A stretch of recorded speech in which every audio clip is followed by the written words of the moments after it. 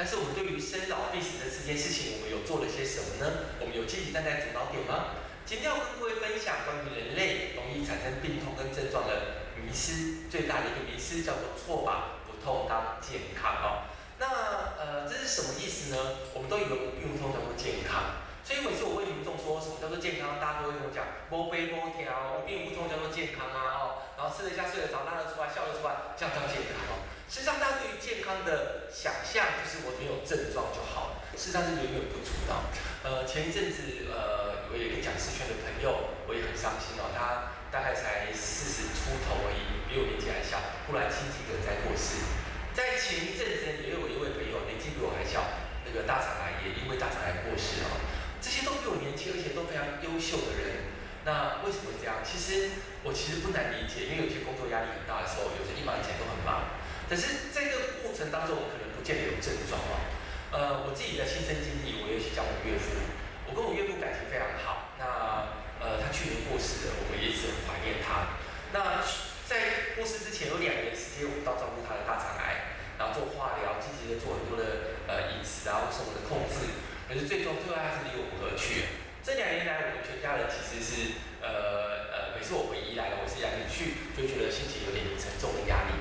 但是在这之前有一件事情我要提醒大家哦，呃，在两年之前我发现到我大肠癌的时候，我们是先发现他脸色苍白，然后每次回就觉得，哎，爸爸的脸色越来越白，我们就一直强烈要求他看医生，他一直不肯，最后我还是强烈的、积极的带他去看医生。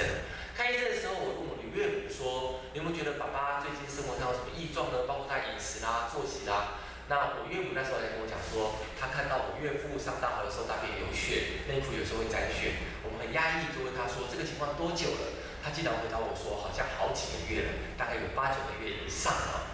我觉得当时我们就会很奇怪，说为什么？哎，你怎么不早点跟我们讲呢？这件事你早点跟我们讲，我们可以早点处理啊。哦，他说因为我的岳父特别交代，不要让我们知道，因为他觉得他没有问题，他无病，他没有疼痛，也没有不舒服，只是大便有血。当然，对于这个知识上，他可能没有去了解这件事情跟大肠癌有关，或者跟其他的疾病有关哦。但是他会觉得他没有疼痛，我觉得这是一个主要的原因。那当然，我们就很后悔说我们没有早一点关心，或者更早的关心他生活的所有的细节。但是这些也提醒了我自己的岳父，也是因为这个样子。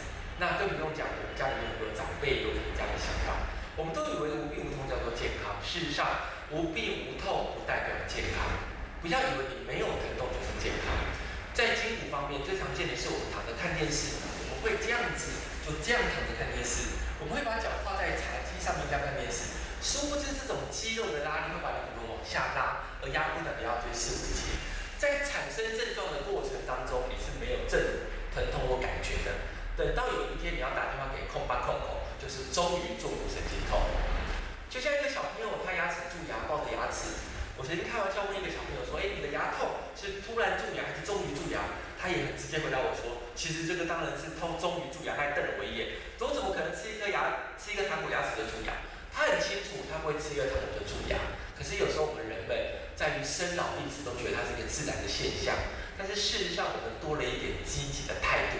而那个积极的态度就是说，我们不可以把无病无痛当做一个最基本的需求。我们要积极的、刻意的去创造你的健康，因为无病无痛只是代表你没有症状。再举一个例子，所谓的疾病管理这个概念哦，所以我们看健保，健保局我们上看医生可以有很多的优惠，跑医院有很多的优惠。可是健保局它其实是健康保，不是健康保险局，它应该证明为疾病保险局。因为它对你的健康来讲，事实上没有太大的琢磨，所以我下面会讲另外一个章节哦。所以我们都把疾病管理跟健康中心混在一起，而我们做健康检查，它也不应该叫做健康检查。健康检查明明就是疾病检查，为什么？因为当我人们把这个名词叫做健康检查的时候，他摊开他的健康检查的本质，哎，你看我都蛮正常的，可能有一些微微的数字不好而已，所以我蛮健康。对不起，健康检查有二十万的健康检查，有两千块的健康检查。在于找疾病的能力，所以健康检查只不过是找疾病能力上面价格上不同，你最后检查出来了，看你有没有疾病，但是并不保证你是健康的。所以这我才一开始讲到，我那个朋友就是讲师朋友，他心肌梗塞，所以也提醒了我弟最后一，我要去，我要赶快去做健康检查的同时，更积极的是什么呢？我要在生活形态上面能够更好的调配我的工作、生活、压力、饮食、运动、作息这些面向，让自己做到最好的程度，这才叫做健康，而不是你无病无痛叫做健康。所以我们之前有分享了好几个，包括错把身体当物品，错把。但是如果你把错把不痛当健康，那迟早会病痛缠身，所以这件事情一定要再三的呼吁大家，不要以为无病无痛叫做健康，而是要积极的去创造健康才叫健康。